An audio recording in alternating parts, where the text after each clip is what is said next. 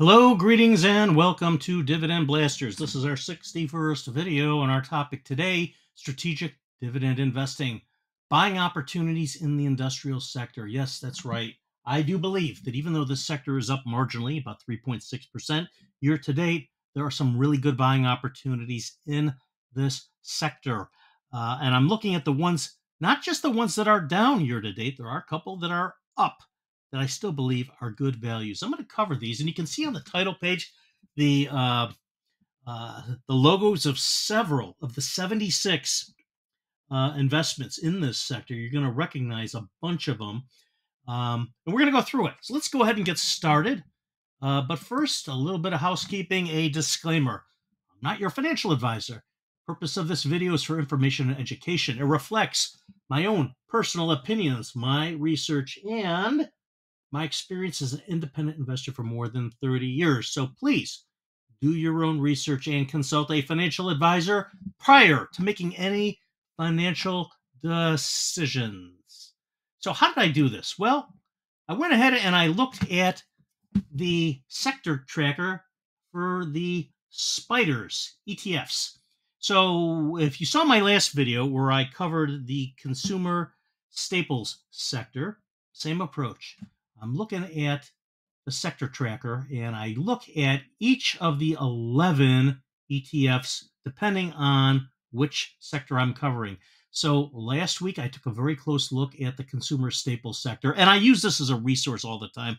It's a wonderful resource. Uh, you know, um, and this week I looked at the industrials, and, and and what I love about this resource is that this resource by State Street Bank and Trust Company has an ETF, as do a lot of these providers, but has an ETF that mirrors the larger market. And they have one ETF for each of the 11 sectors. So it's very easy to follow. You can see the holdings in each of the ETFs. You can do a drill down, which is what I did. I looked at each of the holdings and I did an analysis of all of these. So not just the ones that are down, a few of the ones that are up, and I, and I went a little bit deeper. And I'm going to go through that in a little bit. Um, but you can take a look at the website. It's www.sectorspiders.com, sector tracker, and you can uh, click on any of these. And you know what? If you want, you can actually buy any one of these ETFs. They're uh, on the New York Stock Exchange. You can go to your online broker and just you know purchase them. And so last week we looked at uh, consumer staples, which is XLP. Today we're going to be looking at the holdings in the industrials. If you want to buy industrials, it's ticker symbol XL. I. So anyway, I'm not going to go too deep into that. You can research that at your convenience. But just a little bit more background. These are snapshots of the 11 sectors. And if you look smack dab in the middle, XLI industrials, we're going to do a deeper dive into industrials and we're going to look at the uh, 76 holdings. Uh, we're not going to look at all of them. I won't put you through that. I already did that for you. Um, but I'm going to show you uh, which I believe are the handful of buying opportunities in this sector. But before I do, just for context purposes, you can see that each of the 11 is weighted. So uh, yeah, add up the larger number uh, at the bottom of each of the little panels. So industrials has a weight of 8.31% across the 11 uh, sectors. So you add them all up, that's 100%. You got your S&P 500. You can see here that of the 11, technology, which is right below industrials, is the heaviest weighted, 28.05%. Basically, you're going to see the companies like Microsoft and Apple and Nvidia and those companies in there. Uh, they make up the most. But uh, after technologies, you're going to basically see healthcare, 13.3%, uh, financials, which are the banks, um, 12.69%. Um, and then after that, consumer discretionary, then communications, and then you're going to see uh, consumer staples.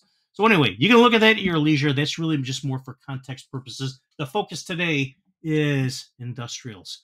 Let's press on. So industrials, as I mentioned, is weighted about 8.31% of the market sectors. Uh, this ETF, if you wanted to buy it, just so you know, it closed yesterday, October 13th at $101 and 75%. It has a competitive expense ratio 0.1%. All right, let's press on. So what I'm going to do now is I'm going to show you the 76 holdings really quickly that are in this sector. Let's do it. And we're going to go from highest to lowest, heaviest weighted to least weighted. So there's 76 of them. I'm going to show you four panels, two panels per page. First and foremost, Caterpillar, the earth moving company. CAT, 4.54%. Union Pacific Corp, the railroad company, 4.2%. Honeywell, 4.04%. General Electric, 3.95%. United Parcel Service, UPS, 3.72%. The Brown Truck Company, RTX, you may know them better. They used to be known as Raytheon, the defense contractor, 3.54%. Boeing, the defense contractor and jet maker, 3.48%. Deere and Company, John Deere, tractors, 3.44%. Automatic Data Processing, or ADP, the third party service provider of human resources and payroll to companies, 3.38%. Lockheed Martin, LMT, defense contractor, really the preeminent one, or one of them, 3.28%. Eaton Corp, 2.76%. Northrop Grumman, the other defense contractor, 2.31%. Illinois Tool Works, 2.11%. CSX Corporation, 2.07%. Waste Management, the premier sanitation management company, ticker symbol WM, 1.94%. FedEx, we all know FedEx, 1.86%. General Dynamics, 1.83%, the defense contractor. Emerson Electric, 1.8%. That's one of the four panels. Let's move to the next panel. Parker Hannifin, 1.68%, 67%. 3M, 1.62%. Transdigm, 1.57%. Trane Technologies, 1.5%. Excuse me. Norfolk Southern, 1.51%. Cintas Corp, the uniform company, 1.47. Carrier Global, the air conditioning company, 1.46%. PACCAR, 1.45%. Copart, 1.32%. Paychex, kind of like a smaller ADP, um, 1.26%. They are a third party payroll services provider. Old Dominion Freightline Railroad Company, 1.2%. Verisk Analytics, 1.19%. Johnson Controls, 1.17%. Ametek, 1.14%. Fastenal, 1.14%. L3 Harris Technologies, the defense and aviation management contractor, 1.11%. Rockwell Automation, 1.1%. Otis Worldwide, the elevator company, 1.09%. WW Grainger, 1.08%. Cummins, 1.07%. That's the weighting of the top 38 of the 76. Let's go and do the bottom 38. Left panel, next one, Republic Services. They are a sanitation management company, smaller a little bit than Waste Management, 1.01%.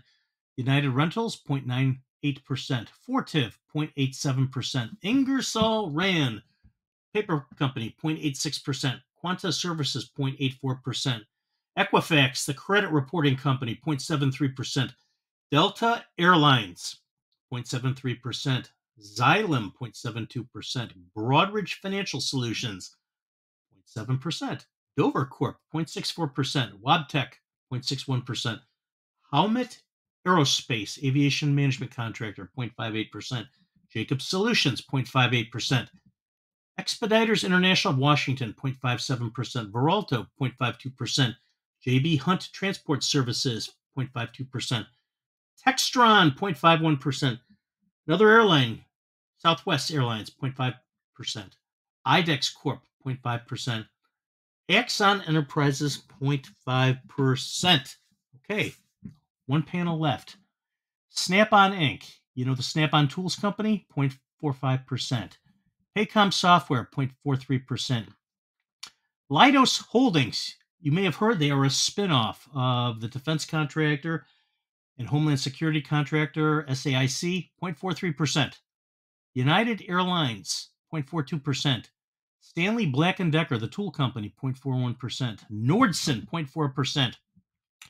Masco Corp, 0.38%.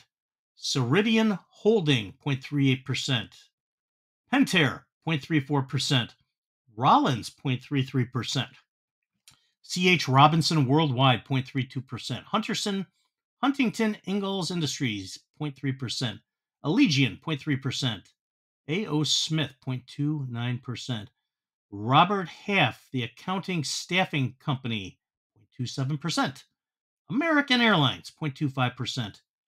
Generac Holdings, you may have heard, they are the home generator company, 0.21%. And another airlines, Alaska Air, 0.14%. Those are the 76 investments in the industrials sector. Okay, so now you can you've seen the weighting. You know which are the heaviest ones, which are the lighter ones. Uh, you know all of the 76 now. So now we're going to look at price. Of the 76, which ones have come down and by how much? Which ones stay the same and which ones have gone up? Let's take a look. The shaded ones have come down, and I have ranked them in order from the ones that have decreased the most. Uh, and then the ones that are unshaded have one has stayed the same, and the rest have gone up. What you're going to see is that of the shaded ones, those are 25 of the 76 that have come down. One has stayed the same, and 50 have gone up. So let's go look at the ones that have come down. RTX, formerly Raytheon, down 27.4%. 3M down 26%. Southwest Airs down 24.65. Alaska Airs down 22.99%. Johnson Controls 19.3. Norfolk Southern down 18.46%. Xylem down 18.45. L3 Harris down 14.87. Paycom down 14.61%. Honeywell down 14.34. IDEX down 12.13. Deere down 11.22. UPS down 10.79%. We know they've had some issues with their unions lately and they have been getting hammered a little bit. Northrop Grumman down 10.16%. Leidos down 9.79%. Lockheed Martin down 9.34%. CH Robinson down 8.26%. Equifax down 8.2%. American Airlines down 7.86%. Nordson down 6.36%. Next panel to the right. Cummins.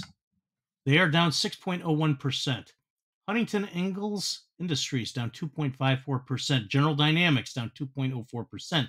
Rollins down 1.72%. Allegion down 1.69%. Emerson Electric down 1.35%. I'm going to stop here for a second before I start to cover the ones that have gone up. Uh, and I want to make this clear just because something has gone down doesn't mean that it is a buying opportunity. All it means is that the price has come down. And so we're going to look at some other metrics after we cover price change. We're going to look at dividend performance and history. We're also going to look at profitability specifically leverage free cash flow margin, and we're going to look at price earnings ratio. And we're going to do some comparisons to their sector, their market sector, to see how they compare, to see if we believe it's an opportunity. Okay, let's continue on. And these are the unshaded stocks that have gone up. Veralto has actually stayed the same. Union Pacific Corp has gone up 0.33%. Boeing up 0.43%. CSX Corp up 0.58%. Generac up 0.96%. Waste Management up 1.23%. Dover up 2%. Paychex up 2.09%. Otis up 2.16%. Robert Half up 2.53%. United Air up 2.71. Web Wabtec up 2.77%. ADP up 3.62% and Delta Airlines up 3.77%. So, you know, why am I covering these that have gone up? Because just because something has gone up doesn't mean that it's overpriced either. We look at these other metrics that I'm going to cover. All right, let's go and continue with the bottom 38. Okay, these are the ones that have continued to go up. Illinois Toolworks up 5%, Amtech up 6.38, Masco up 9.54. JB Hunt up 9.78. Stanley Black & Decker up over 10. Textron up 10.5. Snap-on 11. Caterpillar up 11.85. Rockwell up almost 12. Expeditors International of Washington up over a little more than 12. Howmet up 12.59. Ceridian up 3.23. Cintas up 3.51. Jacob Solutions up 14.23. I'm sorry, Jacob Solutions is up 15.29. Republic Services, I skipped over that, up 14.23. Fortive, let's go to Fortive now, up 15.36. Trane Technologies, up 21.77. Quanta, up 21.78. United Rentals, up 21.84. A.O. Smith, up 22.75. All right, let's go to the last panel. The last panel, we have Ingersoll Rand, up 22.91%. PACCAR up 26.96%, Fastenal up 27.05%, Carrier is up 27.4, Axon Enterprise up almost 30%. Grainger up 31.5. Eaton almost 33%. Parker Hannifin up 35. Broadridge Financial up 35.11. Transdigm up 36.12. Pentair up 38.75. FedEx up over 40%. Wow. Uh, Verisk Analytics is up over 40%. Old Dame, Old Dominion Freight Lines up 42.74%. Copart up 50.27%. And GE up year to date 68%. That is quite an increase. All right. So those are the price changes. Now we, we are going to do is give you my selections before I go into the methodology too deep. And I chose basically I chose seven stocks that I believe are buys to date. Most of these have come down in price, a couple of them have gone up. Uh, the selections that I have identified are Norfolk Southern Corp, ticker symbol NSC, L3 Harris Technologies, ticker symbol LHX, United Parcel Services, ticker symbol UPS, Lockheed Martin, ticker symbol LMT, Allegion, ticker symbol ALLE, Snap on, SNA, and last but not least, Caterpillar, ticker symbol CAT. That's right. These are the seven that I've selected from this sector. I am, uh, full disclosure, I have several shares of UPS. I have several shares of Lockheed Martin. And I have been looking closely at Caterpillar. Uh, now that I've identified four others, I'm going to be taking closer look at all of these. I like L3 Harris. I like Norfolk Southern. I like Snap on. I like Allegion. All right, let's press on. So this basically is going to show you the chart, the monster chart, and how I arrived at these selections. So as I started off at the beginning, I looked only at price. I'm looking at price decrease first and foremost. And I shaded the first half a dozen columns green if the price has gone down and I sorted them, right? And then I looked at dividend performance. So I'm looking at dividend yield. I'm looking at the five year dividend growth rate or the CAGR. I'm looking at the dividend growth streak and I'm looking at the payout ratio. So why am I looking at all these? I have um, rules of thumb that I follow and that a lot of us dividend investors uh, follow uh, when looking at stocks. Um, for dividend yield, typically I want to see something at least 3% dividend yield. Doesn't need to be too high, but I'm striving for a 3% yield. I'm looking for a dividend growth rate uh, at the five year CAGR level of 5% or more, preferably more uh, at the aggregate level. I like to see the yield and the CAGR um, equate to around 10% total. Um, sometimes, if the dividend yield is a little bit lower, I'm I'm okay with that if the dividend growth rate or the CAGR makes up for it. And we have a couple of examples here, and I'm going to get to that. Uh, dividend growth streak, I'm looking for a minimum of five years. if it's less than five years, I'm not going to shade it green. I am probably going to shade it yellow if it's like four years uh, or three years. If it's less than that, I'm going to give it a red. Um, payout ratio, this speaks to safety. I typically like to see a payout ratio, which is the ratio between dividends paid out over earnings, uh, in the range of 20 to 60%. I don't like to see a lot more than 60% because I think that that could compromise the safety of a growing dividend. If it's lower than 20%, I begin to wonder well, maybe this company is not serious about paying a growing dividend or a dividend. And I tend to disregard those. Uh, and I will e- either shade it yellow or red. If it's sh- if anything is shaded red in any of these sections, I eliminate them. If they're shaded yellow, I will probably eliminate them, but I'm going to take a closer look at some of the other metrics. Okay, so those are dividends. Um, cash flow. I mean, really, this is a profitability metric. I'm looking at levered free cash flow margin percentage. So basically, this is the ratio of the levered free cash flow as a percentage of revenue. Okay, and what I'm looking for here is a high number, and I like to see something greater than the sector median. So the sector median is the median of all the stocks in this industrial sector. And you can see that the sector median is 5.62%. It's shaded kind of a vanilla uh, color. Uh, and so if any of these are more than the 5.62%, they and significantly they get a green. If they're less or they're about the same, they get a yellow. If they're significantly less, they get a red and they are eliminated. And then we're going to look at PE, price earnings ratio. This is really um, uh, speaks to the uh, the actual price of the investment relative to its earnings.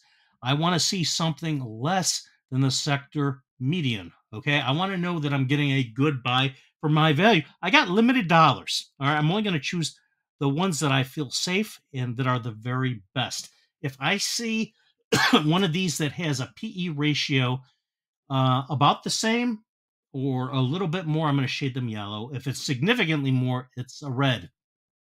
If it's less than the, the PE ratio sector median of 17.39, they get a green. The goal here is to get greens all the way across. That was the plan. So, you know, uh, for instance, when you look at Southwest Airlines, uh, they have a growth streak of zero. That's a red. They're eliminated, but they also have a levered free cash flow margin, which is negative. That's also red. So they're out.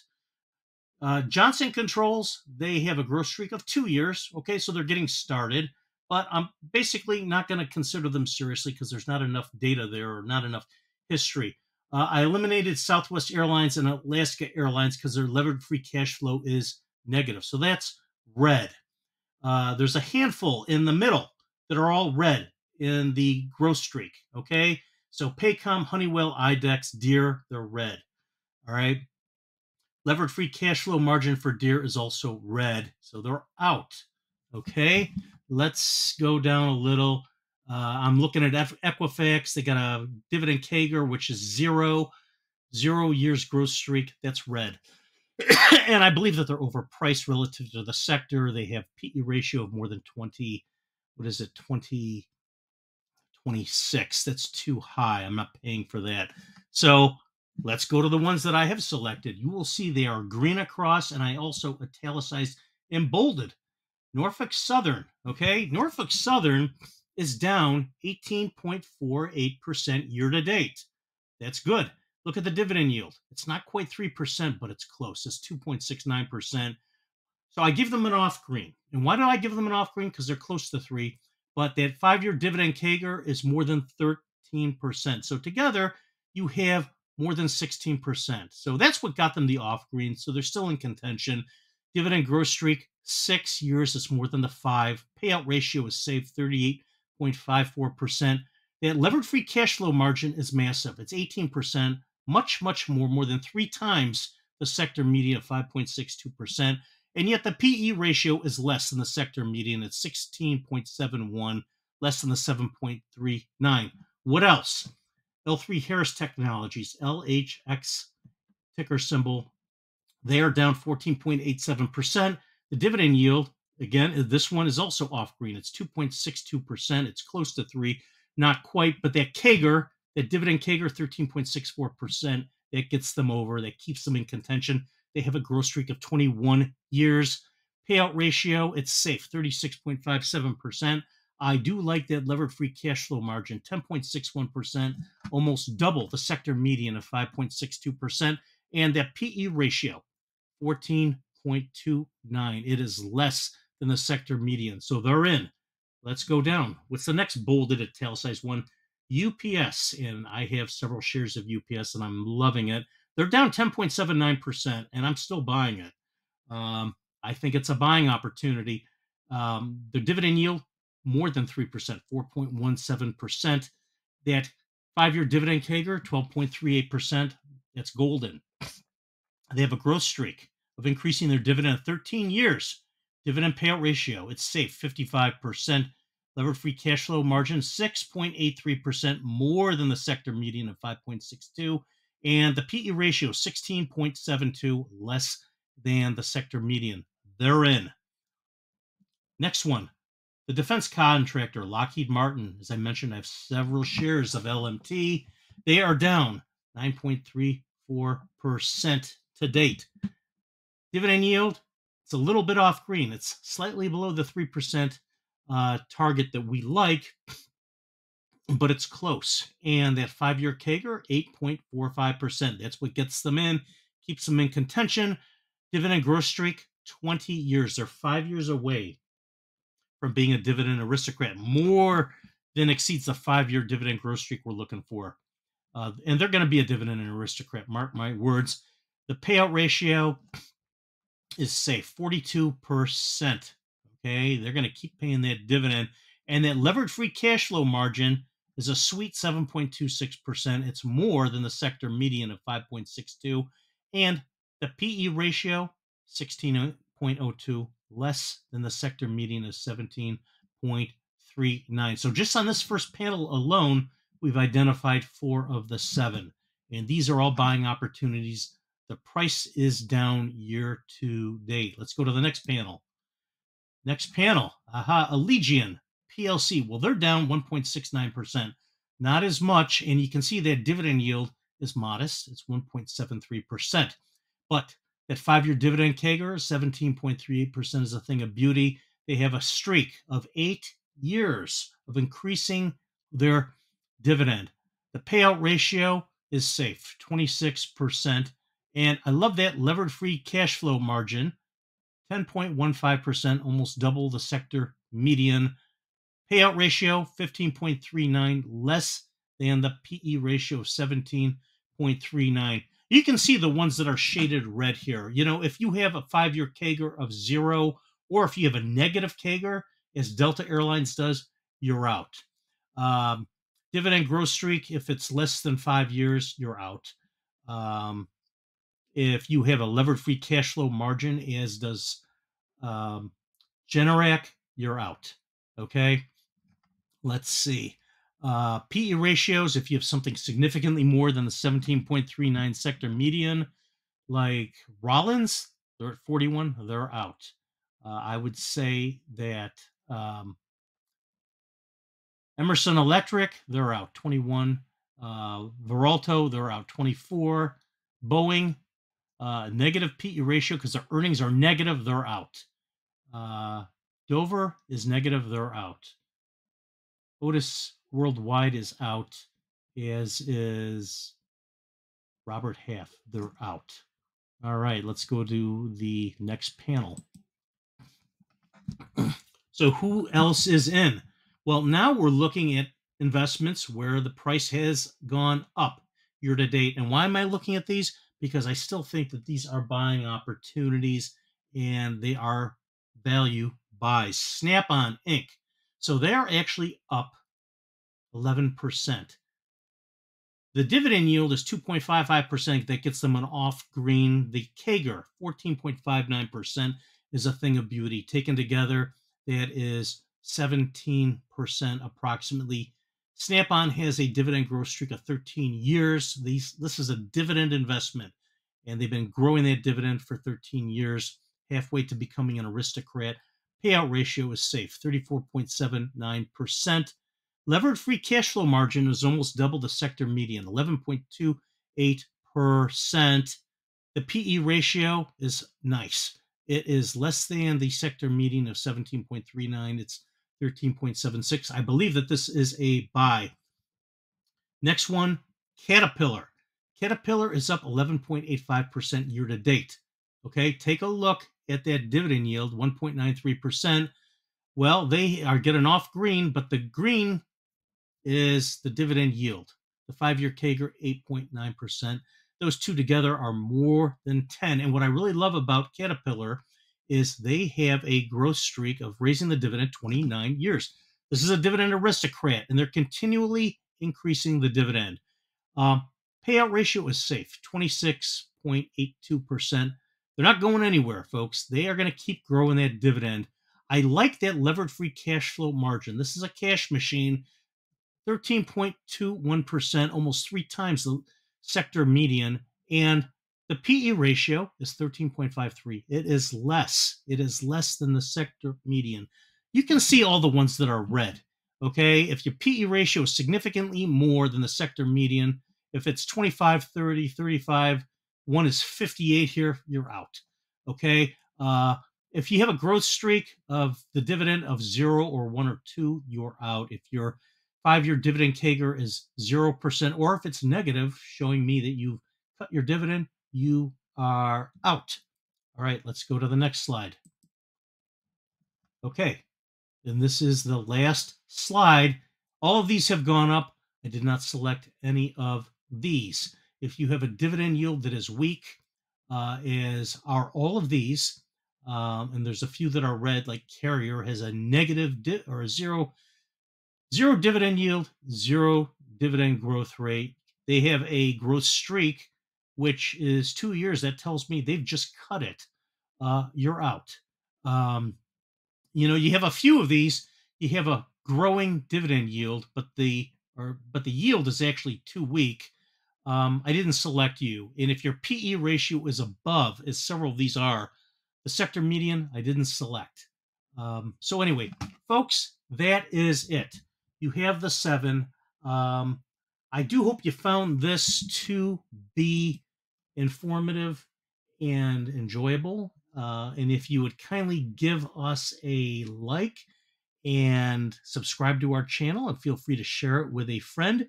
We greatly appreciate it. And until our next video, have a wonderful day. God bless.